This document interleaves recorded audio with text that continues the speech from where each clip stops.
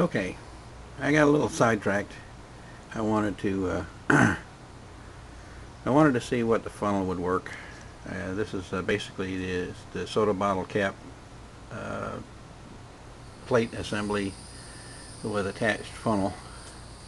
Give you an idea what it looks like. It's basically the top of a soda bottle with my uh, leads attached, and those are uh, those are 10 inch. I'm sorry, number 10 by uh, 24 thread uh, stainless steel screws, uh, two inches long, I believe.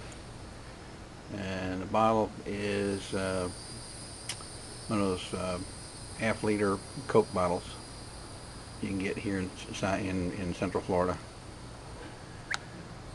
And just wanted to show you, I wanted to show you how this was, how this, how this works. And the reason why I'm liking, I'm liking, I'm liking this concept. Maybe not the specific implementation of it, but I'm liking this concept. So let me plug it in. I apologize for camera work. It can go. Fires up. And what you'll notice with this is you don't get the same clouding. The solution stays clear. That's the whole purpose. Because if the solution is staying clear, my, my logic is that more of the gas is actually being released from the surface. Uh, right this second we're running just under 4 amps. Eventually that'll heat up enough and it'll draw it'll it'll go beyond the charger's cap capabilities. I got a I got a one of my uh, I got a 20 amp power supply DC power supply rectifier or a solid state power supply that I want to bring out here and, try it.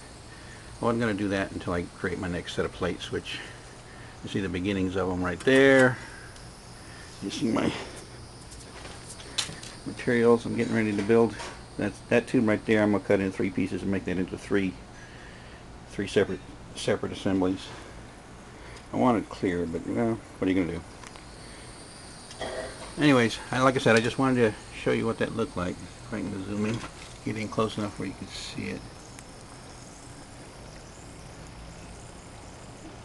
Uh, obviously, to get the best effect out of this, you'd want a bigger air hole in the top of the lid plus you'd want to uh, isolate or insulate the top terminal so that none of the none of the none of the uh, action was happening off the terminals but even so it's staying pretty clear with a, with a minimal amount of fogging which I think I'll I mean uh, I'll probably what I'll probably end up doing with my uh, whatever plate configuration I end up with, I'll probably put some sort of a, a, concentrating funnel or a hat for all intents and purposes, a hat that sits over the top of it that concentrates the bubbles into a smaller uh, smaller area. That seems that's a I mean I like the fact that I've, I've I've done a lot to minimize the amount of uh, the amount of milking or fogging that happens in the solution. So, alright, that's it for now. Uh, thank you much.